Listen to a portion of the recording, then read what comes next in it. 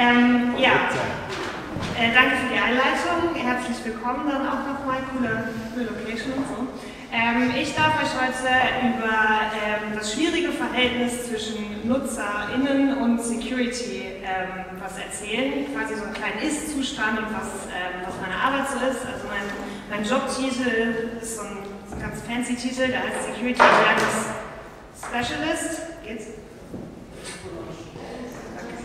Darf ich kurz fragen, wer ist denn hier im Publikum oder wer würde sich denn im Publikum hier als Security-Experte bezeichnen? Was für eine Security? Wenn du die, wer hat die Frage gestellt? Ich? Gut, dann bist du Experte. Das kann man schon mal so sagen. Wunderbar, okay. Also normalerweise habe ich es mit den Security-Experten zu tun, also die, die sich mit dem Thema auskennen. Genau. Ähm, ich mache? Äh, also wie gesagt, ich arbeite bei Switch. Wer Switch nicht kennt, ähm, wir betreiben das National Research and Education Network in der Schweiz. Das heißt, wir arbeiten mit den Schweizer Hochschulen zusammen und hochschulnahen Organisationen und wir sind die Registry für die .ch und .ai Domains und arbeiten deswegen auch mit Registraren und anderen Organisationen aus der Privatwirtschaft zusammen. Ich arbeite dort im Computer Emergency Response Team, also im Security Team bin dort ähm, nicht mehr die einzige Frau, aber die einzige Literaturwissenschaftlerin. ähm, genau. Ähm, ich führe euch jetzt mal so langsam ran an dieses ganze Thema äh, Nutzer und äh, Nutzer, Nutzerinnen und Security. Ähm, weil wer, wer, denkt, dass es, wer denkt nicht, dass es ein schwieriges Verhältnis ist? Gut, dann weiß ich schon mal, dass ich darauf nicht mehr eingehen muss. Ähm, genau. Und um sich zu überlegen, ähm, was, wie, de, wie das Verhältnis zwischen Nutzer und Nutzerinnen und Security irgendwie verbessert oder überhaupt mal angeschaut werden kann, muss man sich erstmal überlegen, was versteht denn der allgemeine Nutzer so unter dem Thema Security, was verbindet er damit? Und wenn ich wissen will, was die Allgemeinheit über ein Thema denkt, frage ich meistens die Google Bildersuche. Und wenn wir das machen und Security, nach Security suchen, sieht das ziemlich homogen aus. Also wir haben ganz viel Blau, ganz viele blaue Schlösser, aber jetzt habe ich ja nur noch Security gegoogelt. Ähm, wer weiß, vielleicht sieht das bei Internet Security ja anders aus. Nicht wirklich. Kaspersky hat da irgendwie scheinbar ein Produkt, ansonsten ist auch ziemlich blau und äh, voller Schlösser. Cyber Security, Cyber ist ja das Wort, was die Allgemeinheit so benutzt in dem Kontext. Ähm, auch da noch viel schlimmer, hier haben wir auch schon die ein, zwei, die schwarzen Kapuzen, die dem äh, Umfeld, in dem Kontext auch wieder auftauchen. Genau, das heißt, ähm, wenn man den allgemeinen Nutzer, die Nutzerin nach Security fragt, haben die im Kopf ähm, blaue Schlösser. Man fragt sich jetzt, wo sind sie selbst, weil irgendwie sind sie ja Teil der ganzen Security-Prozesse, aber die spielen für sich also aus der eigenen Sicht gar keine Rolle. Dann habe ich mich, ähm, können wir uns ja auch nochmal fragen, was sind denn so, was nehmen die denn für Bedrohungen wahr? Also wofür, wofür, wovor schützen sich ein, schützt sich der allgemeine Nutzer, so wenn er ähm, irgendwie was Security-mäßiges macht? Ähm, genau, die Security Threats werden im Englischen, weil IT ist meistens eh sehr anglophil und äh, Sicherheit hat im Deutschen so ein bisschen schwierige, sehr, sehr äh, vielseitige Bedeutung. Das nur so am Rande. Genau, da ist gleiche Prozedere, Security Threats. Da haben wir ähm, schon die Kapuzen. Meistens haben wir auch diese Menschen mit den, mit den Masken, die irgendwie aus Bildschirmen rausgreifen oder rauskommen. Ähm, ein bisschen bunter, weil es, also Rot kommt noch dazu zum, zum Blau. Wenn wir nach ähm, Internet-Threads schauen, wird es noch mehr, eben da wird mal der Mensch aus der, ähm, die Hand aus dem Monitor, der Kapuzenmensch, der Mensch mit der ähm, Dieb, wie heißen die, diese Masken halt.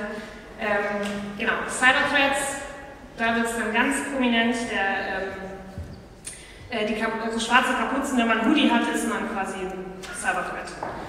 Äh, genau, das heißt, wenn wir das jetzt zusammenfassen, wenn der allgemeine Nutzer an Security denkt, denkt er an blaue Schlösser und wenn er sich bedroht fühlt, an schwarze Hoodies.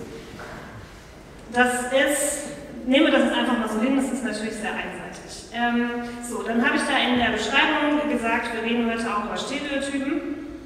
Ähm, da möchte ich ganz kurz, oh, das hat es ein bisschen verzogen, aber gut, äh, da möchte ich ganz kurz vorwegnehmen, ähm, Stereotypen sind natürlich eine starke Vereinfachung von, äh, von, von, von Sachverhalten. Das heißt, das entspricht natürlich nicht der Realität. Das ist jetzt nur einfach so, um das mal ganz, ganz plakativ mit euch kurz zu besprechen. Also, in meiner täglichen Arbeit äh, begegne ich sehr häufig diesen drei Stereotypen. Einmal den unbewusst inkompetenten Typ, ähm, den Ich habe nichts zu verbergen Typ, über den wir heute Morgen schon in der Keynote viel gehört haben, und äh, den Paniktyp. Den unbewusst inkompetenten Typ trifft man sehr häufig in Kommentarzeilen zu ähm, Artikeln, zu irgendeinem Datenleak oder sonst irgendwas, irgendwas, was mit Cyber im Titel drüber steht oder so. Hier jetzt beispielhaft der Artikel ähm, in 20 Minuten und zwar ging es in dem Artikel über den ähm, Datendank, auf den Treuhand aufmerksam gemacht hat und den Treuhand auch zugänglich gemacht hat über seine Ever Porn-Plattform. Äh, und in diesem Artikel wurde das einfach nur kurz erklärt und auch, also kurz, 20 Minuten Artikel, ähm, äh, und auch, wie man sich starke Passwörter äh, suchen sollte, weil in dieser Datensammlung gab es auch Passwörter, die im Klartext veröffentlicht wurden und so weiter. Dann findet man also so ähm, nette Kommentare, die alle irgendwie so, so Halbwahrheiten dabei haben, wie Passwörter müssen nicht komplex sein, sondern lang. Gut, kann man darüber streiten. Ähm, das Ding ist, dass diese, diese Kommentare eigentlich alles ähm, eins gemeinsam haben, und zwar sind das meistens Meinungen. Das sind Leute, die es eigentlich nicht wissen, sondern nur denken, dass sie es wissen. Eben, die sind unbewusst inkompetent. Das sind auch die, die dann, wenn sich jemand, ein Security-Experte, sagt, nee, ja, du hast da nicht so ganz recht, das ist eigentlich so und so und so, die dann sagen, nee, ich habe auf Facebook gelesen, das ist so, deswegen glaube ich das. Genau. Ähm, man kennt den Typen. Ähm, das ist kein Einzelfenomen, wie gesagt, es ist ein Stereotyp. Und zwar habe ich hier nochmal zwei Ergebnisse aus einer Studie von LastPass. Ähm, die hatte den fancy Titel Psychologie der Passwörter. Ähm, und die haben herausgefunden, dass 21 Prozent ähm, der Befragten nicht glauben, dass die Verwendung desselben oder eines ähnlichen Passworts ihres Kon ihre, ihre Konten bzw. Informationen verstärkt gefährdet. Sie glauben, also, und das ist in dem Fall ähnlich wie Wissen. Äh, und ähm, es gibt auch, also 51 Prozent der Befragten denken, dass Hacker nicht anhand von Informationen, die öffentlich zugänglich sind, Passwörter erraten können. Ich finde, das ist ein schwieriges, ein schwieriges Ergebnis einer solchen Studie. Aber gut, ähm, mit dem Post, den ich euch nicht vorenthalten möchte, weil ich finde den ähm, fast schon ein bisschen poetisch, ähm, gehen wir zum nächsten Typ. Und zwar den Ich habe nichts zu verbergen Typ. Ist einiges dazu, aber gut. Ähm, und zwar, den haben wir heute, über den haben wir heute Morgen schon viel gehört. Ähm, da möchte ich ganz kurz die Anekdote von einem Freund von mir ähm, erzählen, den ich natürlich nicht beim Namen nenne. Der ähm, wurde gehackt auf Facebook der hat, das hat er auch auf Facebook gepostet, hat alle seine Freunde gewarnt, hey, wenn ihr eine Nachricht von mir bekommt, ein Bild von ihm, ähm, da nicht drauf eingehen, das war alles nicht von mir. Daraufhin habe ich ihn gefragt, so rein aus professionellem Interesse, was ist denn da passiert? Dann hat er gesagt, ja, da war jemand, der hat sich mit dem Konto übernommen und hat halt Links auf günstige Sonnenbrillenjobs äh, verteilt an seine Freunde. Da habe ich gesagt, ja, was hast du denn da gemacht? Hast du denn das Facebook gemeldet irgendwie? Wie bist du damit umgegangen? Da hat er gesagt, nö, ist ja nichts passiert. Der Typ sendet jetzt keine Nachrichten mehr, ich sage, hast du bitte wenigstens das Passwort geändert? Nö. Dieser Smiley, den ich da hingepackt habe nach dem Nee, genau den hat er mir geschickt. Also er wusste, dass es irgendwie nicht so ganz richtig war, aber trotzdem fand es irgendwie witzig. Ähm, ich habe ihn nachher gezwungen, das zu tun. Das Passwort zu ändern. Ähm, genau, aber er ist mit diesem Verhalten nicht alleine. Nein, es würden auch 45% der Befragten von schon zitierter LastPass-Studie genauso machen. Die Leute ändern das Passwort nicht, weil sie gar nicht wissen, was sie damit riskieren. Und dann haben wir zu guter Letzt noch den Paniktyp. Das sind ähm, die Leute, die eine ziemlich diffuse Angst haben, ähm, diffus, weil sie gar nicht wissen, wovor. Das, die fühlen sich zu Recht beobachtet ähm, und haben das mitbekommen, dass eben Kameras übernommen werden können, dass Handys abgehört werden, dass ihre Aktionen im Internet beobachtet werden, aber sie wissen gar nicht so genau, wie das eigentlich funktioniert. Das heißt, auch da eine kurze Anekdote aus meinem äh, privaten Umfeld. Ich habe eine Freundin, die, kommt, die sucht jeden Tag, wenn sie nach Hause kommt, ihren Fernseher, der, kein, der nicht internetfähig ist und auch keine Kamera hat, nach einer Kamera ab. Gut. Ähm, sie legt ihr Handy, mit, sie schläft nicht mit dem Handy im gleichen Raum, okay, ähm, hat aber ungefähr drei Passwörter für ihre 200 Online-Konten.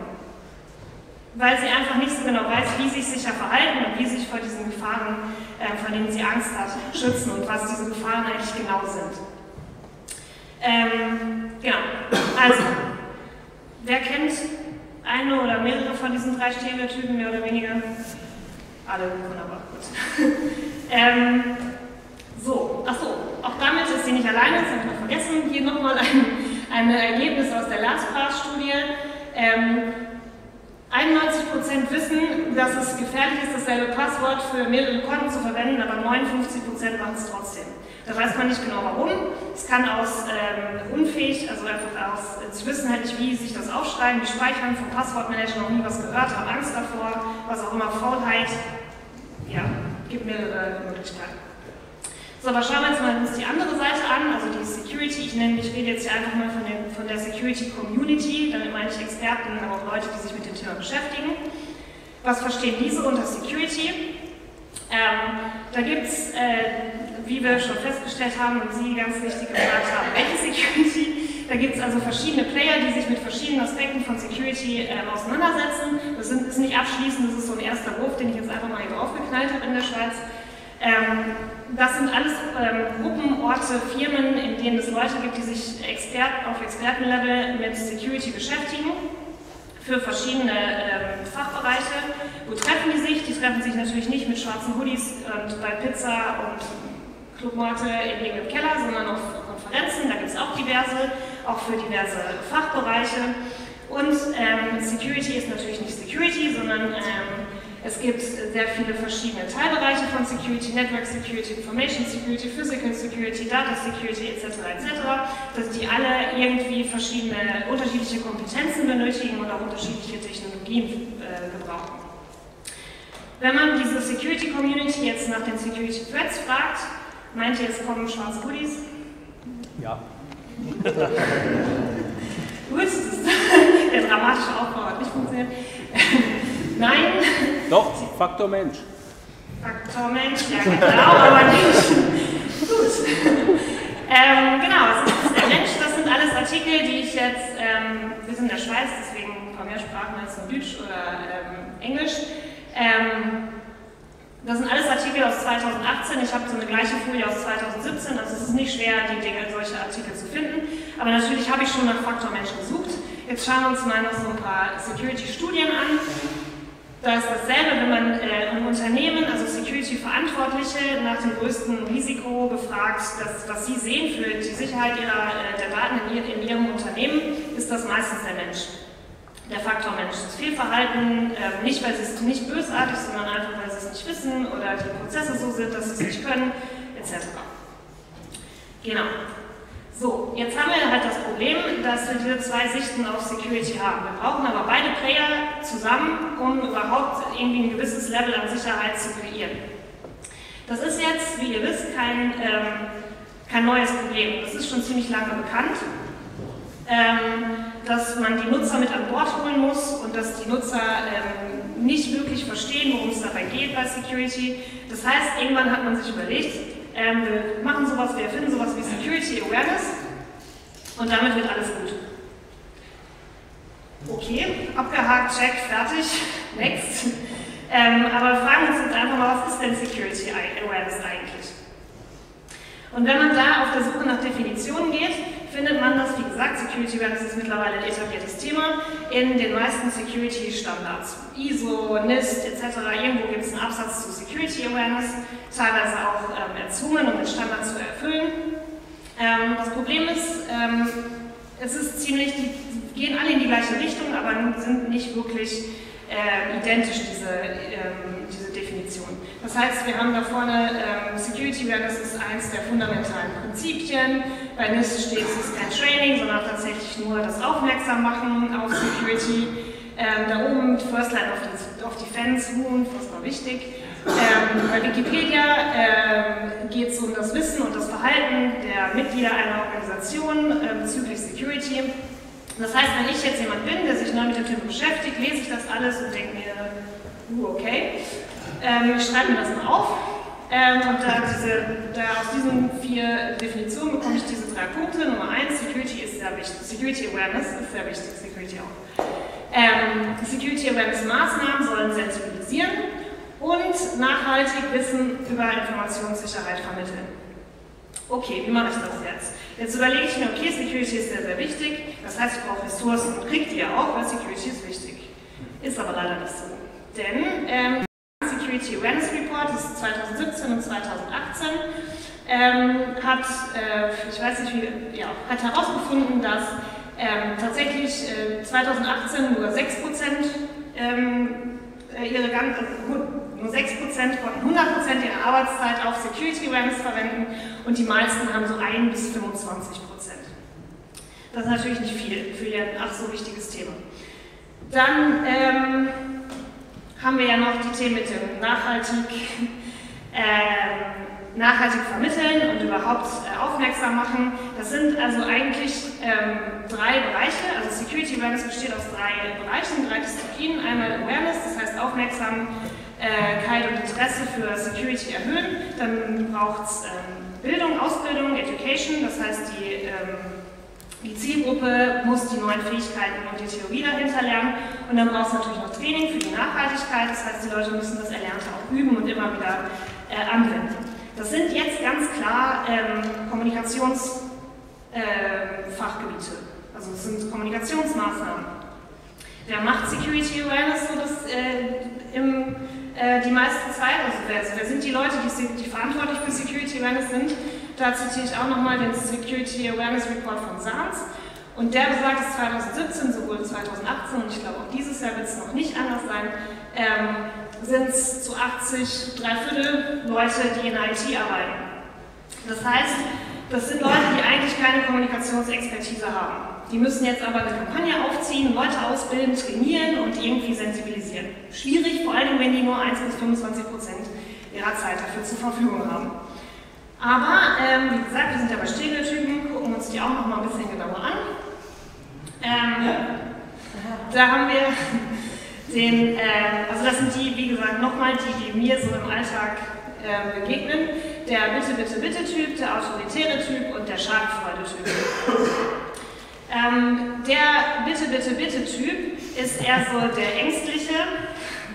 Das ist der, der ähm, die, die Verantwortung für Security bei sich selbst sieht und nicht auf den Nutzer abwälzt, das heißt auch alles macht. Das sind im Unternehmen meistens die, die irgendwie nicht schnell genug weggelaufen sind, wenn jemand als jemand die Security-Aufgaben verteilt hat. Das sind meistens irgendwie ITler, die das jetzt auch noch machen müssen. Ähm, Im privaten Umfeld, so der WG, ist das meistens ähm, der, die Mitbewohnerin, äh, die quasi als IT-Support missbraucht werden. Und wenn sie dann das WLAN-Passwort ein bisschen stärker machen wollen, werden sie ausgelacht und von der Party ausgeladen. So. ähm, dann haben wir noch den autoritären Typ. Das sind die, die den Internetführerschein für alle Nutzer fordern. Das sind die, die ähm, das Internet am liebsten eigentlich abschalten wollen würden. Damit, ich meine, gut, das wäre die sicherste Lösung. Dann gäbe es das alles nicht mehr. Ähm, und das sind die im Unternehmensbereich, das sind die zum Beispiel ähm, die so simulierte Phishing-Kampagnen machen und wenn einer klickt, dann einfach sagt, so, bevor du jetzt nicht das 100-seitige E-Learning gemacht hast, ähm, darfst du deine E-Mails nicht mehr lesen und generell hast du vielleicht keinen Zugang, die Computer nehme ich dir auch noch weg. ähm, und im privaten Umfeld sind das meistens die, ähm, die Fragen mit Antworten, ja, kannst du auch nachlesen oder musst du doch wissen, du nutzt doch ein Handy, also musst du auch wissen, wie das geht. Sowas in der Art. Und dann haben wir noch den Schadenfreude-Typ, das ist mein persönlicher Favorite. Ähm, das, sind, ähm, das ist so der Typ in der, im Unternehmensumfeld. Das sind die Leute, die so simulierte Phishing-Kampagnen nur machen, um sie so schwierig zu designen, dass möglichst viele Leute reinfallen.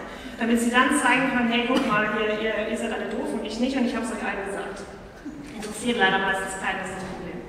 Ähm, das sind auch ähm, die im privaten Umfeld, die ähm, sagen wir in der WG, irgendjemand hat Ransomware reingeschleppt, alles ist verschlüsselt, alle haben ihre Daten verloren und er dann zwei Wochen später immer noch mit seinem Offline-Backup rum, und, äh, rum und sagt, ja, Pech gehabt, ich habe es geschafft und ich habe überlebt, hier nicht. Ähm, genau, wie gesagt, Stereotypen. also, solche Leute äh, gibt es natürlich abgegrenzt nicht, aber äh, Mischformen. So, diese drei machen jetzt also Security Awareness zumindest im Unternehmensumfeld, beziehungsweise von denen es erwartet. Ist das eine gute Idee? Nein. Ähm, es ist aber jetzt so, ähm, die, äh, genau, worin, worin, resultiert das? In der Praxis ist das dann meistens so, wenn man Leute fragt äh, im Unternehmen, hey, macht ihr Security Awareness? Und die Antwort ist ja, dann kann das alles heißen von, äh, ja, gestern habe ich äh, meinen jährlichen Newsletter rausgeschickt, liest eh keiner, ist mir auch egal, aber Checkbox compliant, fertig. Ähm, oder ja, wir haben seit zehn Jahren eine Kampagne, die ähm, alle drei Monate neue Themen bringt, einen fancy Internetauftritt hat mit Logo, Slogan, Live-Auftritten etc. Also soweit ist die Spanne. Das heißt nochmal zum Resümee, was äh, die größten Herausforderungen bei dem ganzen Thema Security Awareness sind, ähm, sind Herausforderungen sind, genau, ist Nummer eins, und das ist wirklich mit Abstand Nummer eins, ist die fehlende Kommunikationsexpertise von denen, die dafür verantwortlich sind. Ähm, Security Awareness liegt immer noch meistens bei der IT, weil Security vorne dran steht. Ich weiß nicht, was das ist, aber irgendwie hat sich über den Laufe der Jahre, äh, wenn, wenn, wenn, Menschen Security hören, die, die nichts damit zu tun haben, schieben es weg, wollen davon nichts wissen. Und das passiert bei Security Awareness auch. Vielleicht wird es was ändern, wenn man es umnennt in, weiß ich auch nicht, Medienkompetenz Awareness oder so. Ähm, genau, aber das ist ein großes Problem und das verursacht quasi auch die nächsten zwei. Und zwar generell gibt es äh, geringe finanzielle und zeitliche Ressourcen für dieses Thema. Ähm, das liegt vor allem daran, dass ein, jetzt der äh, Security-Verantwortliche mit dem IT-Background über dem Management ähm, äh, argumentieren muss, dass er Kommunikationsmaßnahmen, also dass er finanzielle Ressourcen für Kommunikationsmaßnahmen braucht. Aber wie soll er erklären, was er da braucht, wenn er gar nicht versteht, was er da machen soll? weil er keine Ahnung hat, was Kommunikationsmaßnahmen eigentlich sein sollen. Ähm, und dann natürlich die fehlende Unterstützung im Unternehmensumfeld vom Management und auch im privaten Umfeld immer noch diese, diese, ähm, dieses Label, du bist äh, zu paranoid oder es ist viel zu kompliziert, ich verstehe das eh nicht, etc. So, ähm, was machen wir jetzt? Gar nichts am besten. Internet abstellen. Ähm, nein, wir ähm, müssen Security oder das ganze Thema, das haben wir auch heute Morgen ja schon gehört, irgendwie in den, ähm, ähm, noch mehr in den allgemeinen gesellschaftlichen Diskurs bringen. Aber momentan, was ich noch so beobachte, ist, dass die Security-Experten, die Security-Community für sich, sich miteinander irgendwie befruchtet und unterhält und so weiter. Ähm, äh, auf Fachchinesisch, das ist klar, das brauchen Experten, damit sie äh, effizient äh, sich unterhalten können, aber ähm, selten das Aufbrechen.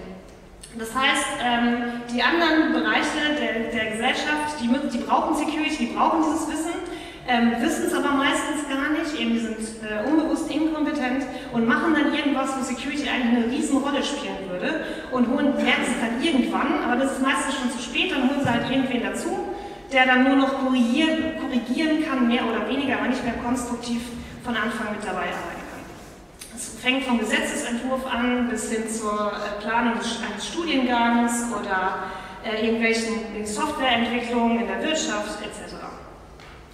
Genau, wie machen wir das jetzt? Ähm, ah, ja, ja. äh, okay, ähm, wir müssen die Sprache anpassen. Das heißt, deswegen sind die Leute so schön bunt, das versteht man, ja.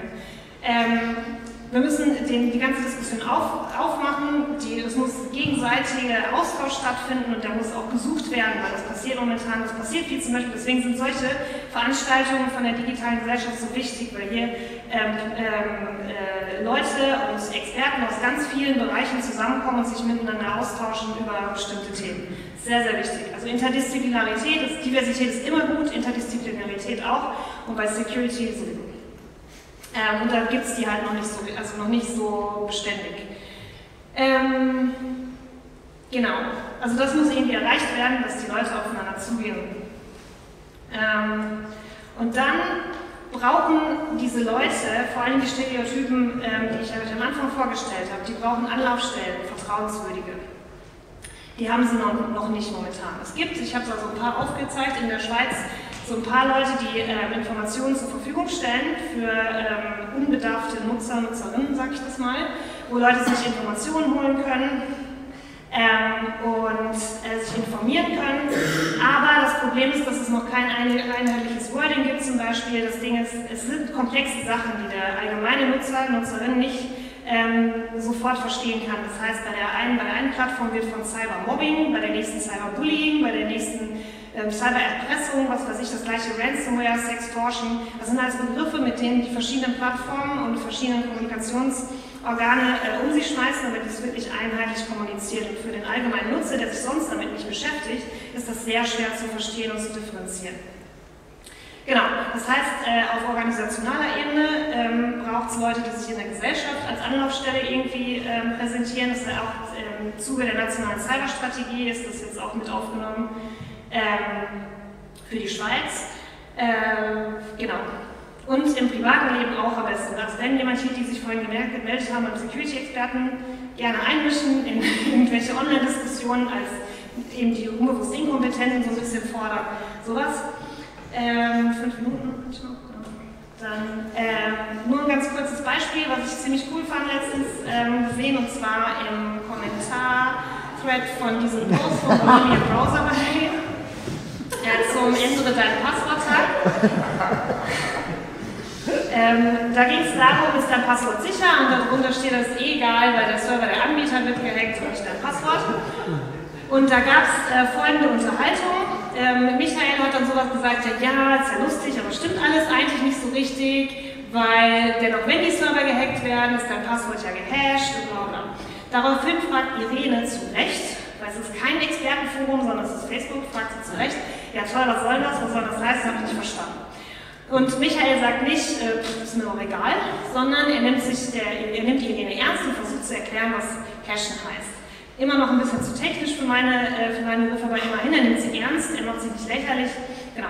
Das hat anscheinend so viel Vertrauen geweckt, dass auch Daniel sich nochmal traut, eine Frage zu stellen, einen Tag später. Und dann noch in Klammern schreibt, Fragen von einem Nein, um sich zu, vor, im schon zu entschuldigen, falls die Frage irgendwie doof ist oder so. Äh, und Michael sagt auch da, ähm, lehnt ihn auch da nicht ab, sondern fragt, äh, erklärt ganz nett und ähm, ich habe deine Frage nicht richtig verstanden, aber wenn du das und das meinst, dann ist das so und so und so und so. Finde ich super. Das ist, äh, der hat seine Frage angepasst, der hat sich geöffnet. Ähm, sowas wäre cool, wenn man das öfter sieht.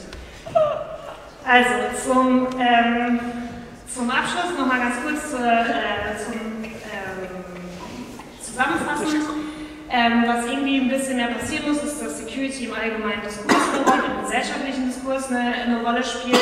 Dazu müssen wir, also ich sage jetzt mal ich als Security Community oder Teil der Security Community, äh, müssen wir unsere Sprache ähm, anpassen, wir müssen uns öffnen und Zusammenarbeit überhaupt ermöglichen, auch andersrum nicht nur äh, rausgehen in die anderen politischen Teile, sondern die vielleicht auch mal reinholen, so wie es hier passiert zum Beispiel.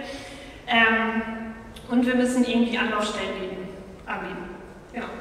Ähm, dann hier noch die Quellen, weil die Folien bekommt ihr ja nachher alle und das war's.